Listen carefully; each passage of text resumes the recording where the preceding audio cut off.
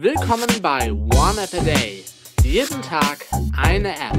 iOS, Mac, Android, Windows Phone 7, Memo und mehr. Moin Moin, Servus, Grüezi und Hallo und willkommen zur neuen One a Day Folge.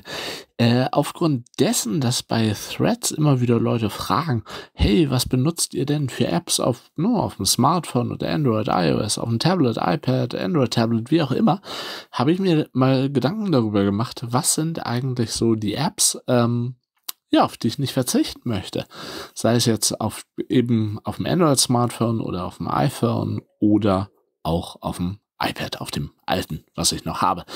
Und ich habe gedacht, ich gehe einfach mal die Apps äh, durch, werde also jetzt die nächsten Tage einfach, angefangen mit Android, einfach mal über die Apps äh, sprechen.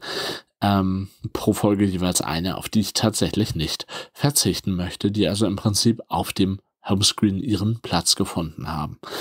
Ähm, somit werden sicherlich auch zahlreiche Apps oder vielleicht sogar alle Apps äh, vor, vorkommen, über die ich schon mal gesprochen habe. Ja, das eine bedingt halt das andere. Fangen wir an mit Moshidon for Mastodon. Bei 263 Gesamtbewertung, eine Durchschnittssternebewertung von 4,2 von 5 Sternen, wie fast immer getestet auf dem Galaxy S23 Ultra. Und äh, dort ist die na, wo haben wir es denn? Wo haben wir es denn? Wo haben wir es denn? Wo haben wir es denn? Da. Die aktuelle Versionsnummer ist die 2.3.0 äh, plus fork.105.moshinda-play.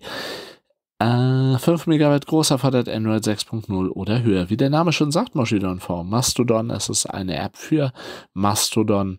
Äh, ja, den Zugang zum äh, Fediverse, könnte man ja sagen. Moshidon ist eine veränderte Version, ein Fork der offiziellen Mastodon Android App, die wichtige Funktionen ergänzt, die in der offiziellen App fehlen, wie zum Beispiel eine föderierte Timeline, ungelistetes Veröffentlichen und die Möglichkeit, Bildbeschreibungen zu sehen. Ich weiß gar nicht, ob diese Sachen inzwischen immer noch fehlen. Aber der Gewohnheit halber bin ich persönlich unter Android einfach auf jeder Plattform, auf jedem Smartphone unter äh, bei Moshidon geblieben. Die wichtigsten Funktionen sind äh, große Farbauswahl, Material View und viele weitere Farbschemen. Übersetzungsfunktion, eine Schaltfläche, um Beiträge zu übersetzen. Ungelistetes Veröffentlichen, also Post veröffentlichen, ohne dass deine Beiträge in den Trends mit Hashtags oder auf öffentlichen Timelines erscheinen. Föderierte Timeline. Äh, Bildbeschreibung kann man sich angucken. Ne? Die Alttexte. Posts kann man anpinnen, äh, Hashtags kann man folgen, volle Anfragen beantworten, löschen und neu verfassen, die beliebte Funktion, die das Bearbeiten von Beiträgen ohne eigentliche Bearbeitungsfunktion möglich gemacht hat. Ähm, und Extras, viele Anpassungen der Nutzeroberfläche, wie zum Beispiel Interaktionssymbole in Benachrichtigungen und die Entfernung von vielen Unstimmigkeiten beim äh, eigentlichen äh, Design.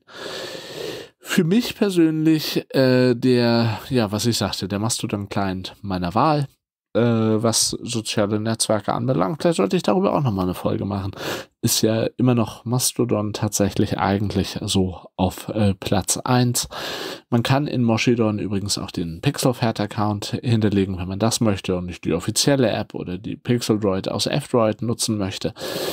Auf jeden Fall Daumen hoch für Moshidon vor Mastodon. Ich sage vielen Dank fürs Zuhören, tschüss bis zum nächsten Mal und natürlich und selbstverständlich ciao und bye bye. Das war One App a Day. Fragen oder Feedback richtet ihr an info@oaad.de, facebook.com slash oneappatag, gplus.eo slash oneappatag oder eine Ad-Menschen an twitter.com slash oneappatag.